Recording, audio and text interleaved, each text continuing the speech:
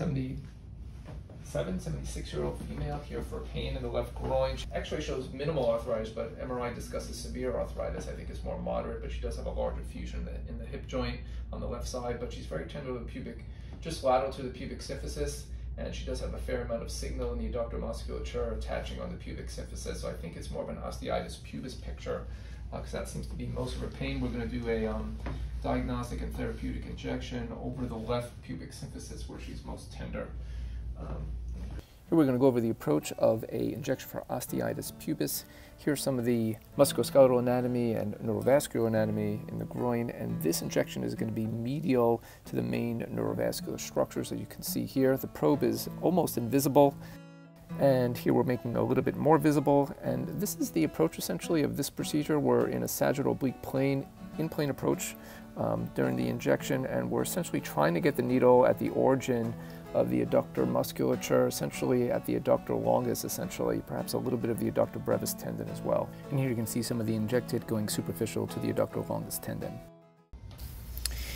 Here's the beginning of our injection. You can see the needle coming in from the upper right corner, going down towards that pubic symphysis region, essentially near the superior pubic ramus. The dark zone just distal to that superior pubic ramus, I believe, is the adductor tendons and specifically the adductor longus tendon. You can see the tip of the needle essentially going right on top of and perhaps into a little bit the adductor longus tendon, which you can see here. And here are the muscle layers that I teased out, uh, adductor longus being superficial and the adductor brevis muscle underneath that.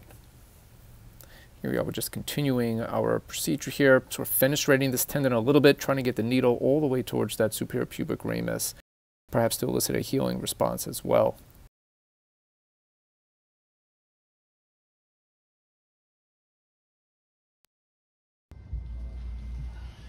Okay. okay.